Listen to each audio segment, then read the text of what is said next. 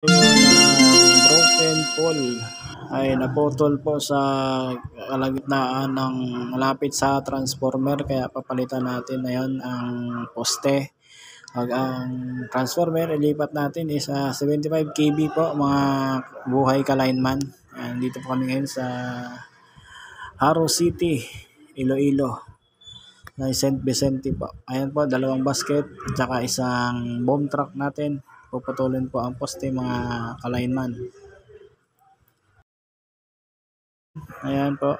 Uh, panoorin nyo po maigi kung paano po namin gawin at uh, mahusay matapos po ang itong video ito.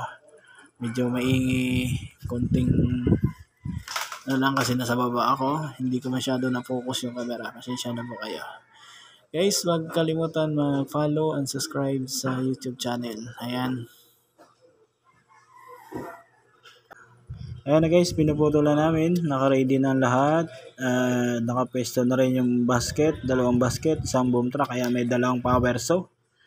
At nakikita nyo naman guys, no? Uh, paki-like and subscribe na lang sa Facebook page ko.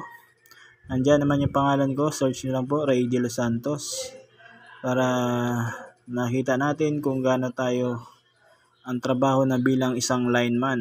No? Ayan guys po, ayan ang basket, ayan ang transformer at yung mga kasamaan ko po ay si Jason Aquino sa taas, kay si Parin Dixon, tsaka si Paring Pautag at saka si Toto po yung gumagawa ngayon. Uh, shout out po sa lahat ng mga hotliner ng Protigo at sa aking mga kasamahan sa ngayon sa taas si Pautag at si Toto, si Parin Dixon at sa si parang Jason Aquino. Ayan po, shout out po sa lahat na uh, kami po ay nagtulong-tulong dito para matapos yung trabaho ito. Ayan guys, kita niyo yung transformer, naputol na yung poste. Ayan. Guys, huwag kalimutan mag-subscribe sa YouTube channel at saka sa Facebook page ko. Paki-follow niyo po ako. Ha? Buhay lineman po. Pasikatin natin to.